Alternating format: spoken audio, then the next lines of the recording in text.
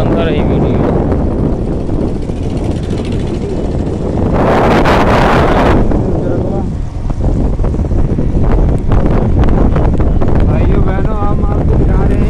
बहुत बड़ा सैलाब आ गया है यहाँ पर। यहाँ पर लगभग आठ दस दिन हो गए, काफ़ी जल था और अभी फ़िलहाल जल समाप्त होने पे है।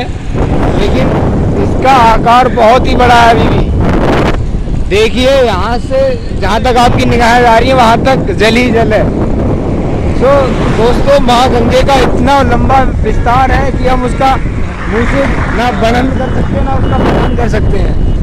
और फिर भी हम आपको वीडियो के माध्यम से, ये वीडियो इसी माध्यम से बनाइए कि आप देख सकें। अभी तो बारिश का मौसम भी शुरू नहीं हुआ है, फ़िलहाल इतनी जल्दी माँ गंगे उफान पर है। और उन्हें, उन्होंने अपना एक बार जलवा दिखा भी दिया है। और काफ़ी टाइम से यहाँ पर बारिश भी नहीं हुई थी और बारिश भी हो चुकी है। और इसी बारिश के कारण यहाँ पर बहुत ही लंबा हरियाली का वातावरण बन चुका है।